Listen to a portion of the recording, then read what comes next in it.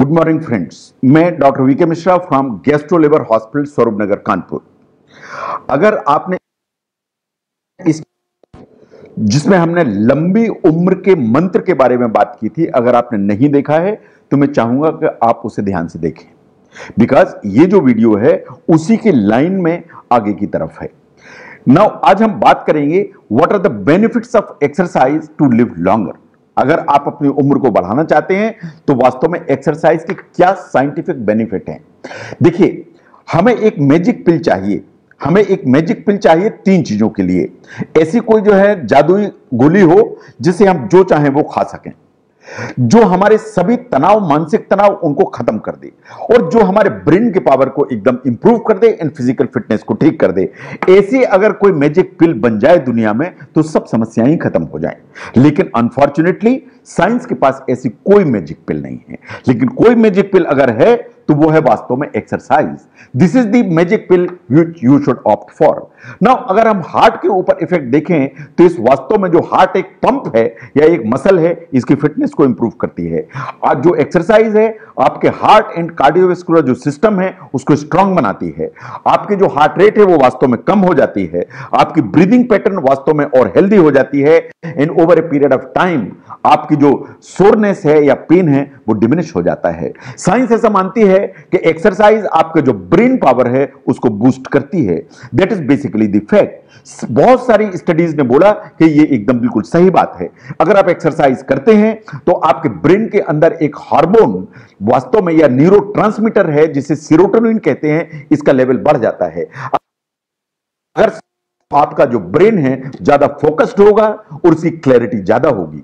ऐसा भी देखा गया कि जो एज के साथ में कॉग्निटिव डिक्लाइन होता है, या जो फ्लेक्सिबिलिटी होती है कॉग्निशन में, वो वास्तव में अगर आप एक्सरसाइज करते हैं तो वो इंप्रूव रहती है। अगर आप एक्सरसाइज करते हैं तो आपका जो स्ट्रेस का लेवल है, वो वास्तव में नीचे आता है। जो स्ट्रेस रिडक्शन है, उसमें मूवमेंट वास्तव में हेल्प करता है। ये आपको डिप्रेशन आपको एंजाइटी इससे भी वापस बाहर लेके चलता है। ऐसा भी देखा गया कि अगर आप रेगुलर एक्सरसाइज करते हैं एंड आपका ब्लड टेस्ट किया जाए तो आपकी बॉडी के अंदर कॉर्टिसोल का जो लेवल है वो नीचे मिलेगा। आपके अंदर एड्रेलिन का जो लेवल है वो नीचे रहेगा। आपको एड्रेलिन का जो रश होता है वो नहीं आएगा बिकॉज़ यही चीज़ें हैं जो एंजाइटी और पैनिक अटैक्स में ऊपर की तरफ़ भागती हैं। अगर आप एक्सरसाइज रेगुलर करते हैं, वास्तव में ये आपकी एनर्जी को एनहांस करती और आपकी एनर्जी को लेवल को बढ़ाती है। वास्तव में अगर आप एक्सरसाइज करते हैं तो एक्सरसाइज के चलते आपकी जो मांसपेशियाँ हैं, उनमें ब्लड जो का जो फ्लो है, वो वास्तव में बढ़ता है। अगर ब्लड का फ्लो बढ़ेगा तो उसके चलते ऑक्सीजन ज़्यादा पहुंचेगी। अगर ऑक्सीजन ज़्यादा पहुंचेगी तो न्यूट्रिएंट्स ज़्यादा पहुँचेंगे। इसका मतलब है कि जो सेल्स हैं, या हमारी जो कोशिकाएँ हैं, उनको ऑक्सीजन ज़्यादा मिलेगी, उनको न्यूट्रिशन बेटर मिलेगा, और अगर न्यूट्रिशन बेटर मिलेगा तो एनर्जी का जो लेवल है, वो ऊपर की तरफ़ जाएगा। अगर एक्सरसाइज करते हैं तो ये आपकी परफॉर्मेंस को बूस्ट करती है। इन द सेंस कि ये आपका जो एथलेटिक एंडोवर है, उसको बेटर करती है। आपकी जो मसल्स हैं, वो स्ट्रांग होती हैं they become more flexible and आपका जो ओवरऑल जो परफॉर्मेंस होता है, वास्तव में इंप्रूव हो जाता है। सिर्फ़ इतनी ही चीज़ें नहीं है। अगर आप रेगुलर एक्सरसाइज करते हैं तो लंबी उम्र इसलिए भी आप पाते हैं क्योंकि बहुत सारे जो डिजीजेस हैं, वो वास्तव में उनका इंसिडेंस नीचे की तरफ़ चला जाता है या इतना कम हो जाता है कि ये डिजीजेस आपको नहीं होती हैं। ये कौन सी डिजीजेस हैं? आपको हार्ट डिज़ीज़ होने की संभावना कम हो जाती है। आपको स्ट्रोक होने की या ब्रेन स्ट्रोक होने की संभावना कम हो जाती है। आपको ब्लड प्रेशर की बीमारी होने की संभावना कम हो जाती है। आपको डायबिटीज़ की संभावना कम हो जाती है। अगर डायबिटीज़ है तो उसका कंट्रोल बेटर हो जाता है। अगर आपका कोलेस्ट्रॉल बढ़ा हुआ है, आप एक्सरसाइज करते हैं तो कोलेस्ट्रॉल का लेवल नीचे आ जाता है। इन जो ऑस्टियोपोरोसिस जिसमें कि जो बोन्स हैं, वो थिनिंग हो जाती है। अगर आप regular exercise particularly I mean muscle strengthening exercise करते हैं तो ऑस्टियोपोरोसिस का जो इंसिडेंस है, वो कम हो जाता है। No there are certain square advantages also of the exercise अगर आप फिटनेस की तरफ़ जाते हैं तो वास्तव में आपकी जो रिलेशनशिप्स हैं, वो बेटर हो जाती हैं। अगर आप दो लोग एक्सरसाइज करते हैं तो आपकी जो एक रिलेशनशिप है, वो इंप्रूव होती है। Because it is always better to have a support to reach to a goal तो इसलिए किसी फ्रेंड को लें, अपनी वाइफ को लें, है ना? अगर आप जो ना ग्रुप में एक्सरसाइज करते हैं तो आपकी रिलेशनशिप बेटर होती है एंड आप वास्तव में बेटर फील करते हैं। नो अगर आप एक्सरसाइज रेगुलर करते हैं तो वास्तव में साइंस ऐसा मानती है कि आप ज़्यादा खा सकते हैं। अगर आपको खाने का शौक है, अगर आप एक्सरसाइज करते हैं you can certainly eat more in the sense कि अगर आप एक्सरसाइज करते हैं तो आपका जो मसल मास है फैट के कंपैरिजन में बढ़ जाता है। अगर आपका मसल मास ज़्यादा है तो आपका बेसल मेटाबॉलिक रेट ज़्यादा होगा बीएमआर आपका ज़्यादा होगा। आप जानते हैं कि मसल ज़्यादा कैलोरी कंज्यूम करती है एंड ज़्यादा बीएमआर ऊपर लेके चलती है तो आप वास्तव में ज़्यादा कैलोरी कंज्यूम कर पाएँगे। तो अगर आपको खाने का शौक है, आप जो है ज़्यादा कैलोरीज लेना चाहते चाहते हैं तो एक्सरसाइज आपके लिए उतनी ही ज़्यादा ज़रूरी है। बट इट इज़ ट्रू कि आपको को ऑप्ट करना चाहिए कि ऐसा नहीं है कि आपने कैलोरी इंटेक बढ़ाया, इन फैट्स ही फैट्स बढ़ा दिए तो उसके अपने डिसएडवांटेज होंगे। तो अगर आपका मसल मास बेटर है, आप जो है ना एक डाइट को बढ़ाते भी हैं, लेकिन उसमें हेल्दी फूड्स लेते हैं तो you can certainly opt for now जब भी आप एक्सरसाइज करते हैं तो जो गोल है, वो सिर्फ़ वेट लॉस नहीं हो सकता।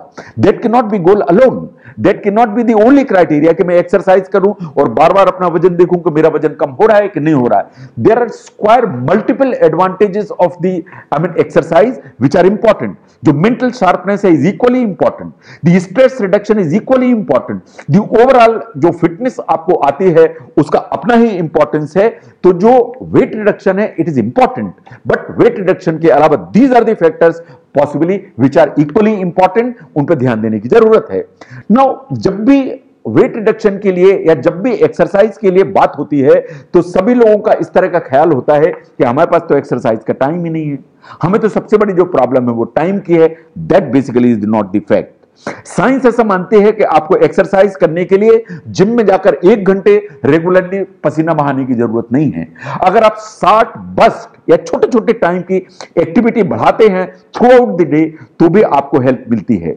अगर आप एक्सरसाइज करते हैं शॉर्ट चंक्स आप पाँच पाँच दस दस मिनट की भी एक्सरसाइज करते हैं तो जो उसका क्यूमुलेटिव इफ़ेक्ट है इज़ ऑलमोस्ट द सेम जैसा आप एक घंटे जिम में बैठ के करते हैं। तो आपको अगर जो है ना शॉर्ट चंक्स में भी एक्सरसाइज करनी है तो उसका जो क्यूमुलेटिव इफ़ेक्ट है इज़ ऑलमोस्ट द सेम उसका बेनिफिट उतना ही है। साइंस ऐसा मानती है कि क्यूमुलेटिव जो इफ़ेक्ट है, उसके लिए ज़रूरी है कि अप्रॉक्सीमेटली 30 मिनट आपको एक्सरसाइज करना चाहिए। बट अगर आप समझते हैं कि आपको वेट रिडक्शन की ज़रूरत है तो ये जो अमाउंट है या ये जो ड्यूरेशन है, इसको 60 मिनट्स करने की ज़रूरत है। तो अगर हम देखें कि लंबी अगर उम्र चाहिए तो एक ही मैजिक पिल है। उस मैजिक पिल का नाम है एक्सरसाइज अगर आप एक्सरसाइज करते हैं तो सिर्फ़ उम्र नहीं बढ़ती है, इसके अलावा इतने सारे एडवांटेजेस हैं, इन्हें आप एक एक करके देख लीजिए। ये आपके ब्रेन पावर को बढ़ाती है, ये आपके स्ट्रेस के लेवल को कम करती है, ये आपके एनर्जी को लेवल को बढ़ाती है। फिटनेस के लिए आपको एक घंटे टाइम निकालने की ज़रूरत नहीं, शॉर्ट बस्ट में एक्सरसाइज करें क्यूमुलेटिव इफ़ेक्ट बराबर आएगा। ये आपकी रिलेशनशिप को बेटर करती है। बहुत सारी डिजीजेस ऐसी हैं कि अगर आप एक्सरसाइज करते हैं तो वो आपसे मीलों दूर रहती हैं। अगर आप एक्सरसाइज रेगुलर करते हैं तो आपका हार्ट मज़बूत होता है हार्ट अटैक की संभावना कम होती है। इन आप अगर खाने के शौकीन हैं तो एक्सरसाइज ज़रूर करिए तो आप खाने की अमाउंट ज़्यादा एंजॉय कर पाएँगे।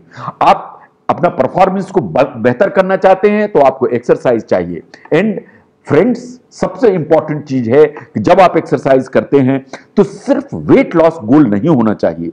जो फिटनेस है that should be the most important goal तो एट द एंड फ्रेंड्स अगर आप समझते हैं कि एक्सरसाइज के बेनिफिट्स को समझने में, लंबी उम्र को पाने में अगर ये वीडियो आपको मदद करता है तो इस चैनल को ज़रूर सब्सक्राइब करें।